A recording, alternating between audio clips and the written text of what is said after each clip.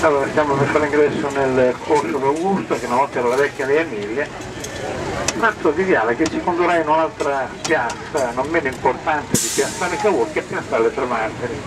Lì ci fermeremo una decina di minuti.